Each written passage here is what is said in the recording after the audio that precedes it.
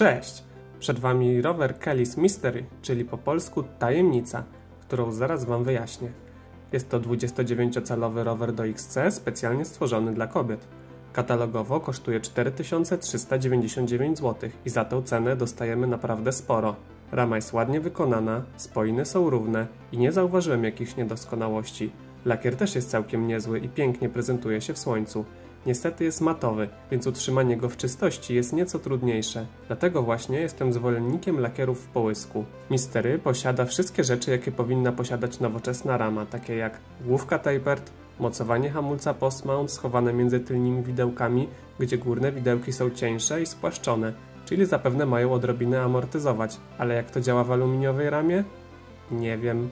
Rama ma też mocowanie do bagażnika, błotników, zintegrowanej nóżki i dwóch koszyków na bidon, więc full wypas. Co chyba najważniejsze, rower wyposażono w osie boost, więc nie będzie później problemów z ulepszeniami. Kellys postarał się też w takich szczegółach jak porządne, przykręcane inserty, jakie zazwyczaj występują w rowerach z wyższej półki, a nie jakieś dziadowskie gumeczki, które się tylko rwą i jest z nimi problem. Rower występuje w trzech rozmiarach L, M i S i mogą na nim jeździć dziewczyny już od 1,50 m.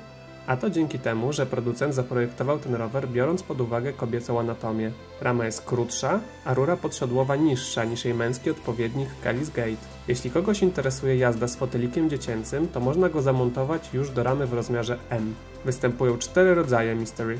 30, 50, 70 i 90.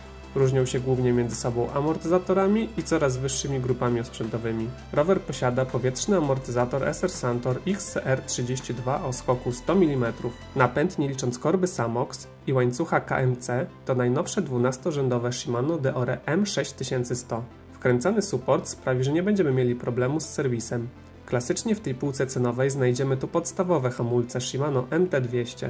Części takie jak kierownica, mostek, sztyca czy siodełko są brandowane przez Kellisa i na nie też nie mogę powiedzieć złego słowa. Mają rozsądną wagę, są całkiem ładne, a sztyca ma regulację na dwie śruby, więc tak jak być powinno. Koła są dość ciężkie, składają się z piast Shimano, niestety wąskich obręczy Kellisa i są zaplecione na 32 szprychach.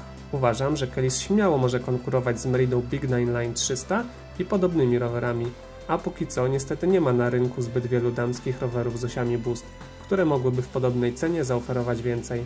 Moim zdaniem jest to bardzo dobry rower, który śmiało mogę polecić, a ten konkretny egzemplarz został kupiony za moją namową.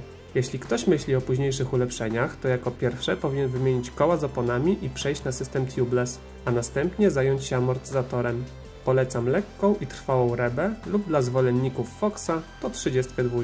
Takie zmiany pomogą odchudzić rower o ponad kilogram, czyniąc go bardziej zrywnym i łatwiejszym w manewrowaniu, a do tego odpoczną trochę ręce, bo wiadomo jak to jest z podstawowymi modelami Santora.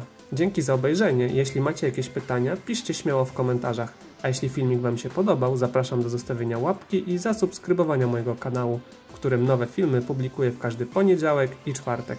Cześć!